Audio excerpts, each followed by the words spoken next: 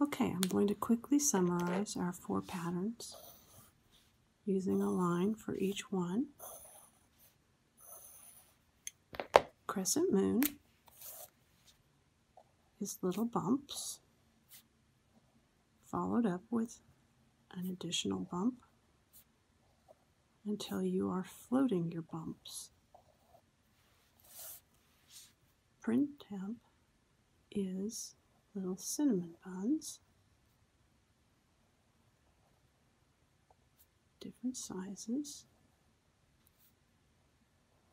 snuggled up together.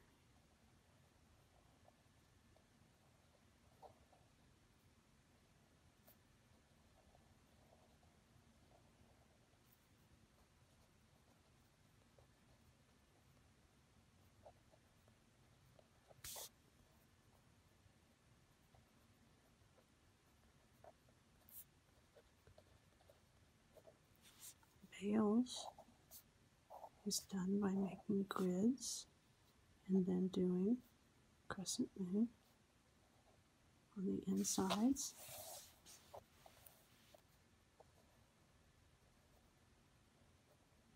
And making sure that each line has its own crescent moon. Hollibaugh is the drawing of two lines or railroad tracks that are parallel and then adding more railroad tracks that never cross.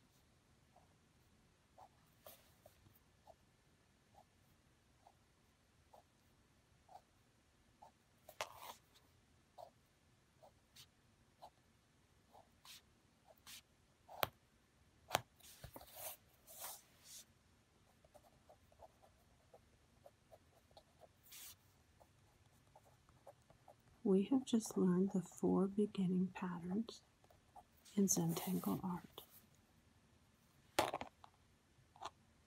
Thank you for joining me today.